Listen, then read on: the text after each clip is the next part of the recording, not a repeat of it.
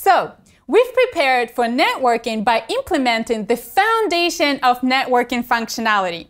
Now we need to get specific and define which server we're going to communicate with, what requests we need to send out, and what responses we should expect. Let's continue with the code. All the networking capabilities in our application we are going to implement in Media Service class. We've got two placeholders here, getMediaList and getMedia methods. Before we proceed with implementation of those, we're going to create a few helping elements. First, let's create a structure that will hold all the parameters for the API. Here we're defining a couple private variables to hold the base of the API URL and the additions for the search and lookup. And then we are generating full URLs for search and lookup. Next, we're going to create a general function that will help us create a request. This function will take a few parameters, the URL, and additional parameters that we need to attach to that URL. Within this method, we are generating an instance of URL request object, setting the request method, and forming the parameter body. Now we can use this function to create more specific functions, to create requests for search and lookup. Each of these methods take parameters that are applicable to specifics of each request. Now we are ready to implement our main functions. We're going to start with getting media list functionality. First, we need to alter its declaration. It's going to take two parameters. First is the term that we're going to use to search. And the second one is a completion block. That is a block of code that is going to be executed after we receive response from the server. And here's the implementation. We are creating a session, an instance of URL session object.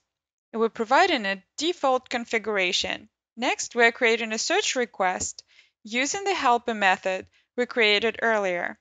Using this request, we're creating a task for the session to perform the actual search. And to activate the task, we're calling resume method on the task. When a task is completed, it's going to execute a block of code that we provide here. We'll have to work with three parameters, data, response, and error. First, we need to verify that the data we received is not nil and the error is nil. Then we can proceed processing the response. Otherwise, we call completion block indicating that the request failed and no data received. Next, we're moving on to processing the response. Here we are verifying the status code, parsing our JSON response, and getting the results object from the result field in the JSON response.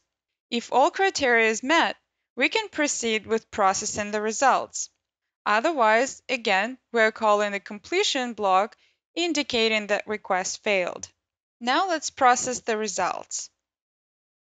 We are declaring a list variable to hold our media brief objects. Then we are walking through all the elements of the results array and trying to populate our list.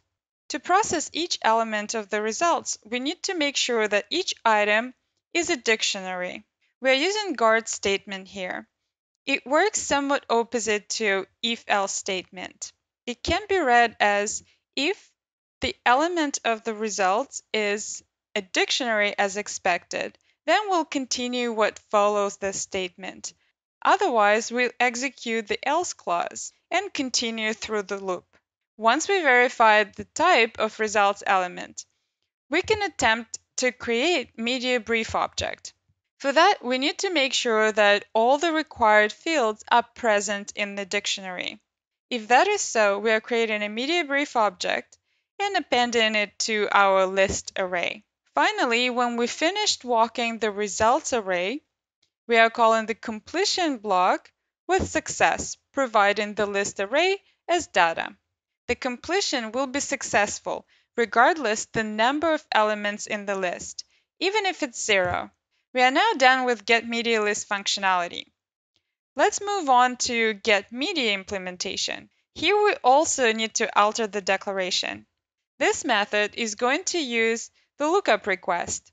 It takes two parameters, the ID that we're going to use for lookup and completion block like in previous example. And here's the implementation of the method. As you can see, it's very similar to get media list. There are a few differences.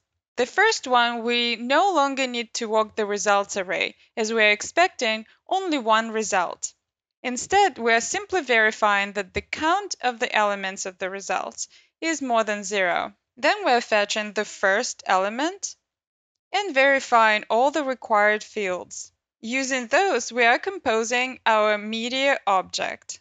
And after that, we are setting optional properties. And once we got our one and only element, we can call successful completion. It seems like this is all we need to populate our views. But let's remember images.